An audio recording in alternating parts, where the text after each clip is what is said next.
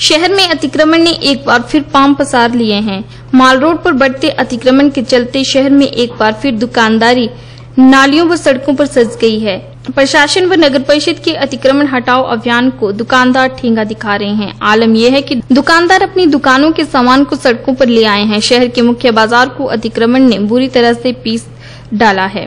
सब्ज़ी मंडी व नगर परिषद के कार्यालय के समीप हालत ज़्यादा बदतर हो चुकी है। ग्राहकों को लुभाने के लिए कारोबारियों ने दुकानों का सामान सड़कों पर सेल करना शुरू कर दिया है। शहर के लोअर बाज़ार, मेन बाज़ार, माल रोड, अपर बाज़ार, भोटा चौक, बस स्टैंड, बाल स्कूल के पास व गलियों के समीप सभी सहित अन्य प्रमुख जगहों पर दुकानदार मन मर्ज़ी कर अतिक्रमण कर रहे हैं। कुछ सप्ताह पहले ही प्रशासन ने शहर में अतिक्रमण हटाओ अभियान चलाया था। इसके लिए नगर परिषद ने कुछ दुकानदारों का सामान जब्त कर लिया उन्हें हिदायत भी दी थी। इस, इसके बावजूद जहाँ जगह दिखे वहाँ अपनी दुकानदारी सजाए बैठे हैं।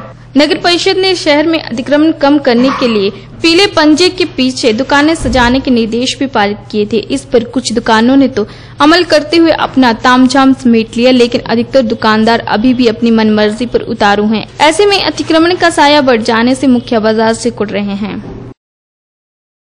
ये बात ठीक है कि आजकल शहर में कुछ लोग जो हैं, कुछ व्यापारी जो हैं, वो दुकान के बाहर अपनी दुकानें जो हैं बाहर लगा रहे हैं। इस बारे में मेरी स्टाफ से भी आज प्रातः ही चर्चा हुई कि एक दो दिन के अंदर बाज़ार में जाके, जैसे आज या पहले उनको वार्निंग वगैरह दें कि वो अपना सामान जो है दुकानों के अंदर रखें, नाली के अंदर ही रखें।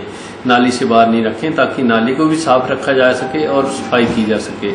अगर ये लोग नहीं उसकी पालना नहीं करेंगे तो फिर निकट भविष्य में इनके खिलाफ जो है कानूनी कार्रवाई की जाएगी और सामान को हटा हटाया जाएगा उठाया जाएगा। कि इनको चेतावनी दी जाए कि हटा लें। अगर नहीं हटाते हैं तो इनका जिन्होंने भी दुकान के बाहर लगाया होगा, इनको उठाया जाएगा। अगर फिर भी नहीं मानते तो इनका कोर्ट में चलान जो है, दायर किया जाएगा।